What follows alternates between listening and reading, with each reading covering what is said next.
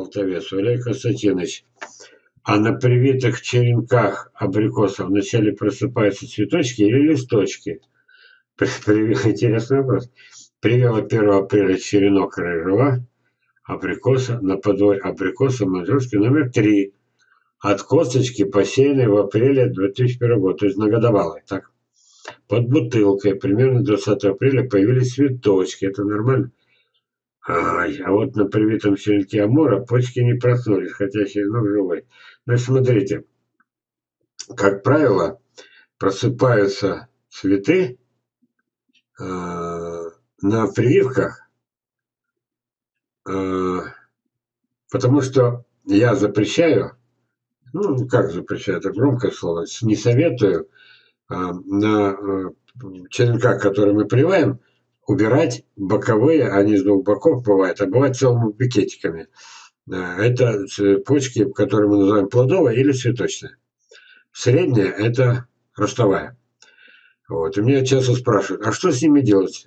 Отрезать, отломать? Есть два варианта, я сам читал. И что один вариант отрезать аккуратно там бритвой, второй вариант отломать.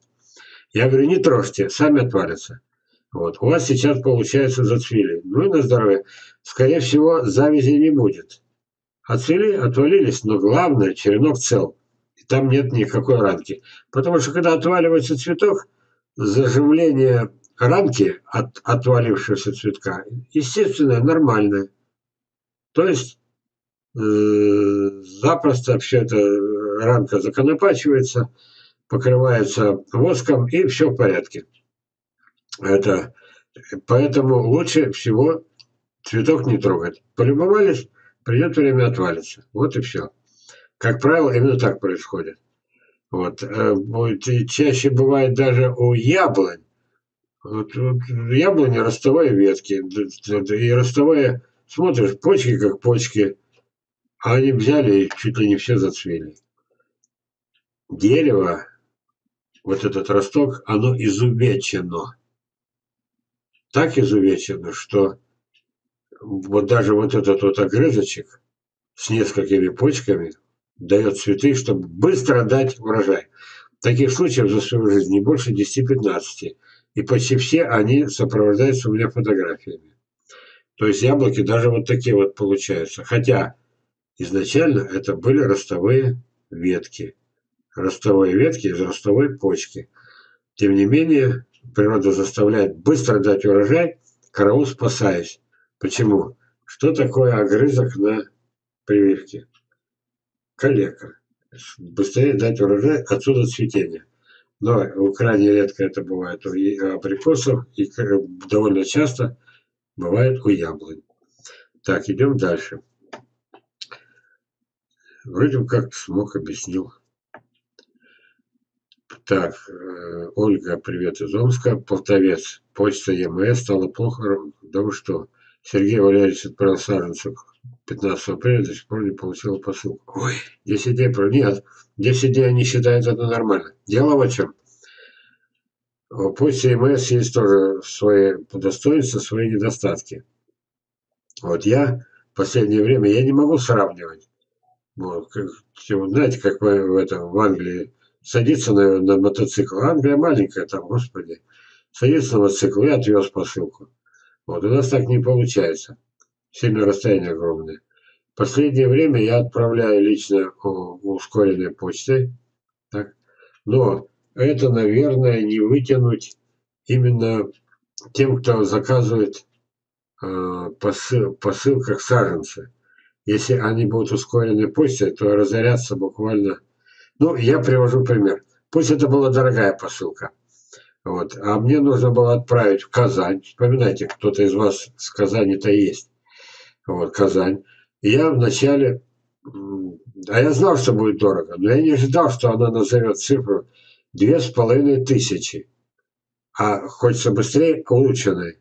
То есть улучшенная почта. Обычная почта было бы вот как у вас. Допустим, 10 дней э, прошло, а вы еще не получили. Так. А я потом пошел в транспортную компанию и за 910, 910 рублей отправил эту же посылку 7,5 килограмм. Там она была такая солидная. Там было много, вот там, знаете как, а мне все семена по 10, а там такой список, а они в этом песке в сыром. И потянула на 7,5 килограмм, а там еще книги, потянул на 7,5 килограмм. Но я-то не поленился, я думаю, 2 500. Мне придется своего кармана доплачивать. Так, ты сели чек, а потом давай еще полторы тысячи. Или там две. Вот, я не мог. Я поехал, сдал. Ну, не знаю, сколько дней нашла. Это надо сейчас спросить у казанца. В общем, пока ничего хорошего не сказали. И моя стала плохо работать. Вот единичный случай. Всем привет из Москвы. Лобасов Леонид. Привет из Смоленской области. Здравствуйте, Валерий Константинович. Есть место для посадки. Сверху земля 30 сантиметров, ниже залежи песка. Нормально. Грунтовые воды, не, а вот это плохо, не глубоко. Стоит ли на таких почвах абрикосы искать? Лучше, конечно, поискать, если есть возможность. Глубоким уровнем почтовых вод. Лучше поискать. Ну, ну, сколько вы можете поднять еще почву? Ну, на полметра. Получится, получится, ой, не. Получится, что поживет абрикос. Вот яблоня, слива и по барабану. А вот вишня, абрикос опасно. Поправка. Сверху земля 30, ниже песок. Почему-то правит текст телефона. Еще раз сверху земля, ниже песок. Нет, все правильно. Все тут все правильно написано. Другое дело, что от этого проблема не исчезла. Владислав. Пришла посылка с семенами за три дня. Есть семена, которые проснулись 10%. Ну, это, это спасибо за подарки. Через 5 дней займусь. Вот эти 10% это сигнал, что пора садить. Понятно, да? Даже за три дня, ё. Ну, правда, мне это дорого находится. знаете, я стесняюсь говорить. Вот сейчас я показал вам эти последние. 500, 600, 700, 700, 600, 700, 600. Вот. И получается, что я стараюсь, э, разницу доплачиваю, но зато за три дня. Это очень важно. Вспомните человека, которого пришли вот с такими вот хвостами. И все. Чуть ли не это. Чуть ли не хорошо еще что-то прижилось. Так. Искусственный интеллект. Сайта про текст как хочет.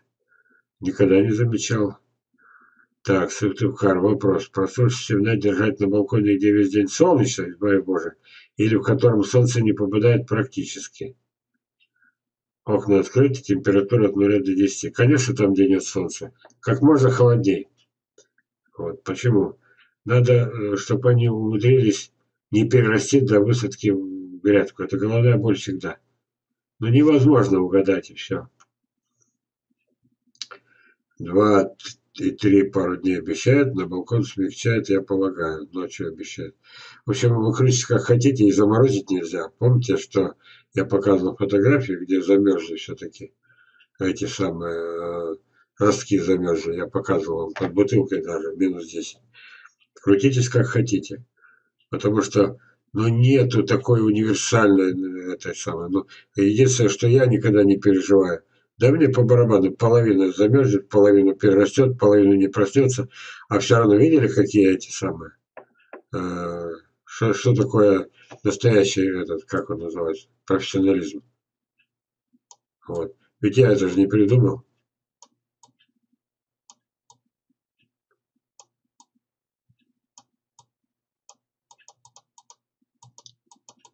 О, сейчас мы уже, наверное, не найдем. Нет, почему не найдем? Найдем, потому что время жалко. Я хочу сказать, что э, прежде чем учить других, вас учить, вот я взялся, ой, не, не к ночи вот это увидеть. Вот как можно было вот это вот э, посоветовать отрезать четыре ветки боковые? Как? Ведь уже же почки, вот они, цветочные почки уже, все. Уже цель-то была. Человек жалуется, может, высоко посадили, семь лет не вцвела. Ну вот ей зацветать нет, надо изувечить дерево. Ну ошиблась, ну извинись, ты ведь понимаешь, тебе там же миллионы этих самых подписчиков. Ну разве можно так относиться к этому? Только чтобы это, ну сделала неправильно, ну, ну нельзя дальше-то продолжать-то. Вот это мы еще изучать будем, ребята. Вот. И отгибание бесполезно. Ну, хоть бы один бы посмотрел, почему от где-то. Во-первых, почему острый угол, они обвалятся. А во-вторых, почему отгибание бесполезно. Никакое отгибание не спасет от облома. Вот почему у них форма-то такая в обломе. Держаться не за что. Да, здорово. Человек с умным видом несет чушь. Это я вот сейчас два с половиной часа чушь нес, вы понимаете? А я что, меня завели вот этим вот? Ну почему не написать, что есть другая точка зрения? Вы уж там сами выбирайте. Что за нами тысячелетний опыт. А тут появился новичок. У него что-то все не так. Ну вроде бы и дело говорит что нельзя дерево калечить, и фотографии приносят, а там видно, что на этих, на распилах видно, что через эти раны туда грибы те самые черту. Как вы потом эти грибы, я опять завелся, как вы вот эти грибы, вот эти вот, как вы отсюда, вы, вы поливаете, не поливаете, опрыскиваете, возьмите еще это самое, бочку поставьте рядом, и прям с ведра вот так вот на дерево, прям ведро за ведром. Вы что, вот эти грибы отсюда вынесете? Если вы искалечили дерево, вы думаете, что надо соображать. Но если сами не соображаете, то дайте другим это дело делать. Ну, человек несет чушь. Вот, смотрите. Вот этот человек несет чушь. Вот они золотые косточки. Уже здесь это самое, тысяча косточек, уже здесь 200-300 садов. Не убиваем их ничем. Это же манжурцы. Имею право учить. А вы научите так, чтобы у вас зашло все это.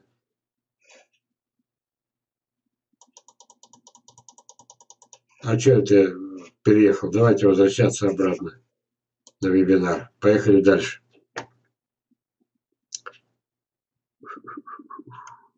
Я просто хотел подчеркнуть, это, это такая капризная вещь. Одни всходят, другие не всходят, третьи вообще на второй год сходят. Так. Если закроют, то точно ночью будет, то плюс будет ночью, градусник имеется. Семена можно на ровную поверхность сажать на грядке или все же на гребень сделать. Ну, не бывает идеальных этих самых. Мы посадку проходили, помните? Умудряются ребята наши, наши с вами друзья. Вот тут холм, а вот так все равно вот так. Временно. Я вначале возмущался, думаю, а кто-то догадался, ему он же может туда воды налить, и там будет уже э, косточка лучше промочена, и как только взойдет, сразу раз этот, вот эту чашечку и убрать. Вот если такой компромисс, то я, то я за вот это. Вот, видите как? А вот вам фактический ответ на ваш вопрос.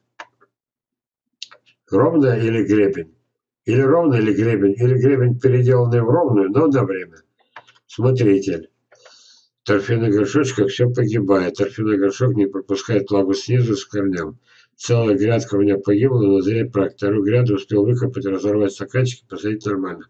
Насчет разорвать стаканчики, я, наверное, это моя беда. Ну вот, Николаевич, ну, вот, ну везет же мне, что вы есть на свете. Вот. Вы правы совершенно. И я показывал уже вот такие вот горшках, да? То есть, э, но я все время давно уже не повторял надо или, как вы говорите, разорвать его, но уже так аккуратно, чтобы вот это все, что посажено, уже, как сказать, уже все уже сидит, уже все, и корни. Или заранее надо было в этих же горшочках дырки делать. Да еще какие дырки? Ну, например, с ногти размером. Поняли? Вот. А, то есть вы поправили меня, и я вам очень за это благодарен. Очень благодарен. Так, Яковлев Наталья. У меня торши городские абрикосы благополучно погибли, хотя ростки были хорошие. Так. Давайте, Олег Васильевич, посылка с дисками, книгами, семечками шла в Казахстан 19 дней. Ну, Казахстан это почти рекорд. Обычно 20 дней. Сегодня получили. Ну, поздравляю. Это все-таки другое государство. Через пакетики видно, что семечки яблок проросли. Конские абрикосы вроде не проросли. Как садить семечки с проросками? Наверное, около сантиметра. Садите их так же. Стакан земли. Сразу в грядку, сразу в грядку. Ненавижу, когда промежуточный этап. Потом головная боль. При посадке поросших семечек в стакан земли проще сохранить те же корешки. Ну, проще, проще. Ну, а потом что? А потом попробуйте вы из этого стакана вытащите. Там корней вот столько, ком не держится. А, ну, в принципе, решать вам. Многих я не смог переубедить. Вот, Виктор, а у меня торфяной горшочке все успешно растет. Корни проходят через стенку и уходят в землю. Слушайте, а кто из нас изучал эти торфяные горшочки? А если торфяной горшочек свежий? А если торфяной горшочек 10 лет продать не могли, он превратился в этот? У -у -у. А если торфяной горшочек плохо поливали? И он не смог раз, разложиться. Наверное, все-таки причина в разных условиях. У кого погибли саженцы молоденькие в торфяных горшочках, это, наверное, одни условия были. А как у Виктора, значит, другие условия. Скорее всего, так. А можете горшочки горшочком рознь. Апарина. Здравствуйте, Московская область, 16, ожидаем заморозки. Это каждый, это когда мне с южных краев говорят, у нас каждый год заморозки, абрикосов нет, я за голову хватаю. Ну, как хорошо, что я в Сибири живу. Вот, это каждый год заморозки и черта нет. И это на юге. Добрый вечер, Валерий Константинович. Этой весной привил черенки груши на яблоню, скелет дерева. И из-за этого что-нибудь получится или так нельзя делать. Но у нас есть... Э, у меня всего несколько деревьев я привел, удачно привил. Вот. И э, в какой-то момент у меня был, когда я все не мог ухватить. У меня был момент, когда на молодых яблонях в этом, на острове, еще когда сад развивался только, я привил порядка 40 черенков груш. Большая часть пошла. И еще через год-два я получил груши невиданные. То есть это было точно какие-то гибриды особые. Вот. Они настолько, они были, это, это не описать. А не было уже этих фотоаппаратов, ничего не было такого, чтобы все это зафиксировать. Да и некогда. Вот, а потом пожар, и все это пропало. Но я по-прежнему считаю, и вам скажу, Виктор, продолжайте, прививайте, потому что есть Макаров Алексей Иванович, мужик надежный. Алексей Иванович, а вопрос-то был, а, это, Макаров, это я отвлекаюсь, почему? Мы не дошли до этого. Женщина спрашивает, а в Подмосковье есть у кого результаты не хуже ваших, чтобы там купить эти саженцы? Я говорю, есть, пишу Макаров. А Макаров-то, Алексей Иванович, что мне сделал? Когда-то я ему задал вопрос, раскручивать будем? Всей стране рассказывали, он говорит, нет, подождем, я не справлюсь. И я взял уже этой женщине по секрету ваш номер дал. Ну, она с Подмосковья, с Подмосковья. А дальше, извините, без вашего этого, команды я не могу давать ни электронный адрес, ни телефон. Вы мне фактически запретили. Но той женщине дал. Ну, слаб человек. Все-таки это, у вас э, уникальный сад, у вас уникальные руки. И саженцы, за ваши саженцы я спокоен. Идем дальше. Итак, черенки груш на яблоню у Алексея Ивановича прекрасно получается, значит и у вас получится. Вот. И я всегда говорю, но это опять я сел на своего конька. Абрикосы на слива, слива на абрикосе, абрикосы на терне, терн на абрикоса. А, персики на войлочной вишне, персики на сливах, персики на абрикосах. И вот. Дальше сливы, венгерки на абрикосах, абрикосы сверху. Уже если пошло, еще урожай дало, надо следующее поколение. Вот эти межвидовые прививки надо сродять, сродять, сродять, то есть использовать метод ментора, насыщения ментора по Мичурину, чтобы в конце концов подвой более устойчив к этим, допустим, близким грунтовым к сырости. Пусть будет подвой, допустим, сливовый, вишневый. Так. А привой уже тот, который всего боится. Груша, яблоня. сам принцип поняли. Межвидовой прививки нужно несколько поколений. И если вы, извините, взялись за это дело, я остановился абрикоса на сливах на первом поколении, дождался, пока все погибнут. Пусть 10 лет ждал, пусть урожай получал. Но я продолжать не стал. Я не стал брать ветки с абрикосов, которые привыкли к сливам, чтобы снова привить на сливы. Видите, какая дорога у вас впереди? Сам принцип. Надо насыщение ментора по Мичурину продолжать.